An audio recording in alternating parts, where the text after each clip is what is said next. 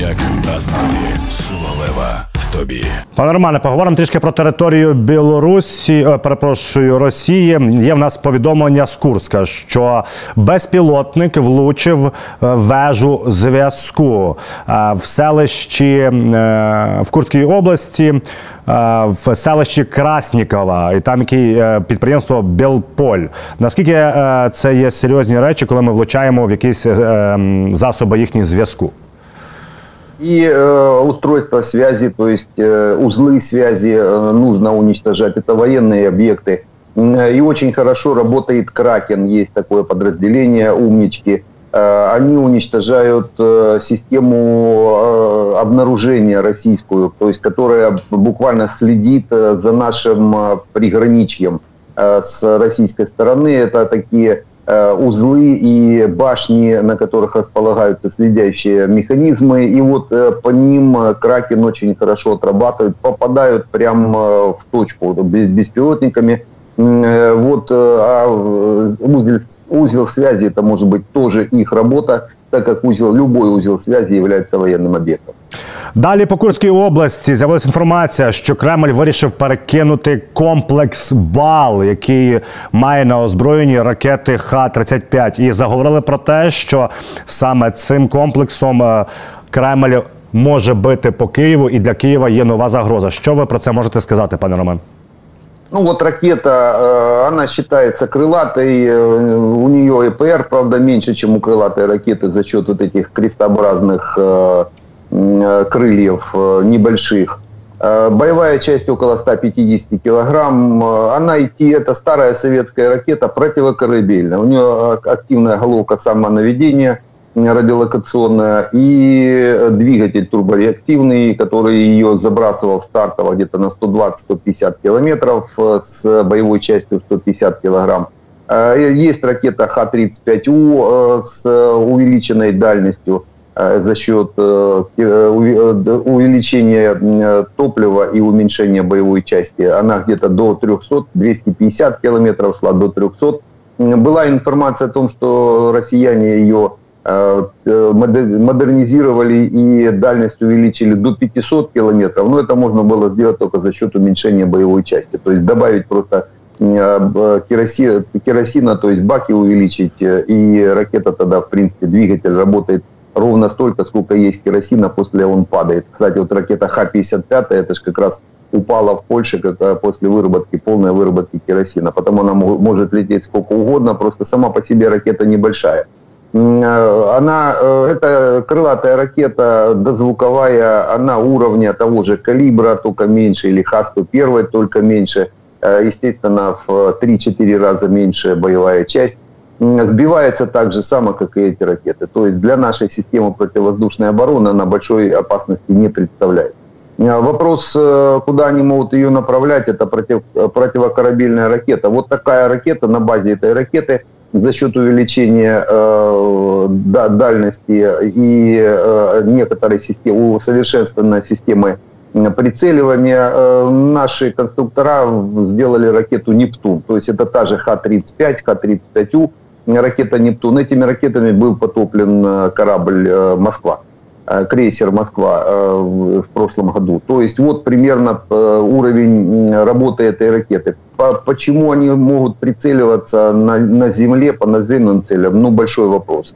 И, и как они могут их использовать? Мы их собьем, то есть те системы ПВО, которые у нас есть, они эти ракеты отрабатывают, даже ПЗРК ее может взять э, без, без больших проблем, так как и Х-101 или «Калибр», в принципе, со «Стингера» ее также можно сбить. А С этой точки зрения проблем нет. А вот э, по прицеливанию, ну, вопрос, потому что, ну, крейсеров э, вряд ли у нас по Днепру ходят. То есть они могут куда-то прицеливаться по каким-то, ну, в основном э, большим э, э, массивным железным целям, то есть металлическим для радиоотражения. Хотя систему управления, конечно, можно изменить, они, но тогда они должны были провести определенную модификацию ракеты, чтобы она, допустим, шла по ГЛОНАССу, по геометкам. Ну, посмотрим, отработаем мы эту ракету. То есть, по большому счету, наше ПВО даже не заметит, что нас сбивает. Это ракета или это калибр или это Х-101, они примерно, примерно одинаковые. Чуть меньше просто эффективная площадь рассеивания. То есть отражаемый сигнал у этой ракети чуть менше, ніж у большої крилатої ракети. Тобто я правильно розумію, пане Романе, якоїсь додаткової складності в якості це не несе, просто більше е, може бути обстрілів. Э, количество обстрелов может просто увеличиться с э, пусковых установок. Вот надо искать пусковые установки, а для этого у нас есть кракен. Ну, это я по аналогии говорю. То есть э, беспилотниками уничтожить пусковую установку довольно-таки можно под прямым управлением. До речі, от власне в нас е, командир 96-ї зенітно-ракетної бригади ЗСУ Яременко повідомив, що е, за той час, відколи в нас є системи Петріот під Києвом, росіяни мінімум 16 разів запускали балістичні ракети, аби знищити. Ну але їм нічого не вдалося. По лінії бойового зіткнення є пане Роман повідомлення, що ми е, були якісь бойові зіткнення в районі Нової Каховки. кажуть, що ДРГ можливо наші заходили, і чути там стрільбу. В телеграм-каналах можна подивитися відео. Там правда нічого не видно, лише чути стрільбу.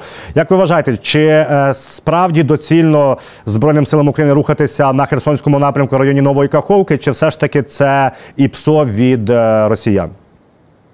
Э, в прошлом году у нас уже были эти планы, то есть э, до Нового года зайти в Крым, и как раз это можно было сделать, если бы э, были вопросы некоторые по поставкам не выключены, потому что в ноябре практически остановили нам поставки техники, и в декабре, помните, были по 200 угу. миллионов всего лишь поставки на 200 миллионов долларов в месяц. Но это Э, это кот наплакал. Потому движения этого не было. А это очень перспективное направление из-под Новой Каховки, из-под Херсона выйти в сторону Армянска сразу. Вот по, по трассе э, прям сразу с Новой Каховки прямая трасса на э, Армянск, это вход в Крым.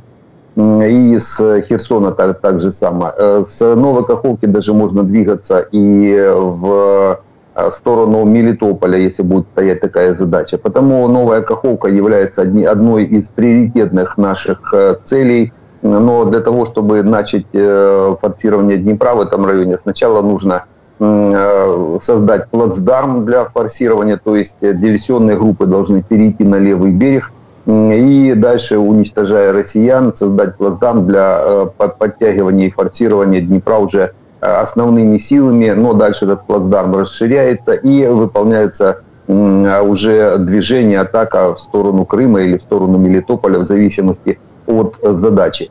Э, на данный момент э, вряд ли именно был сам факт форсирования Днепра большими силами. Скорее всего, диверсионные группы наши, которые развед, это наша армейская разведка, наши разведосы – которые работают по левому берегу уже давно, э, еще с прошлого года, буквально сразу. И сейчас они активизировались, естественно, э, и прощупывают э, в режиме таких зондирующих операций, прощупывают линию фронта. Россияне начали возвращаться. Вода сошла, начинает подсыхать, и россияне возвращаются на старые линии обороны, пытаются их как-то восстановить, реанимировать, откопать, э, слить воду, ну то есть э, обустраиваются обратно, возвращаются обратно к э, линии, вернее, к береговой линии, к Днепру, э, опасаясь э, как раз таких операций наших по форсированию Днепра. И, естественно, с ними также могут э, завязываться бои вот с этими группами, которые возвращаются, бои с нашими, э, с нашими разведкой, с нашей, э, которая работает э, на левом, берег, э, левом берегу. И э, за счет того, что россияне начинают возвращаться, возвращается эта контрбатарейная борьба, то есть работа беспилотниками, работа э, для корректировки огня уже артиллерии, ну и работа, конечно, артой, то есть э, контрбатарейка, россияне подтягивают обратно, подтягивают армейскую артиллерию и тут же вступают в бой с нашей артой. Вот, это, вот эти перестрелки могут слышать э, блогеры, а уже как они их интерпретируют, ну, это исходя из фантазии. А фантазия у блогеров, ну, очень э, такая продуктивная.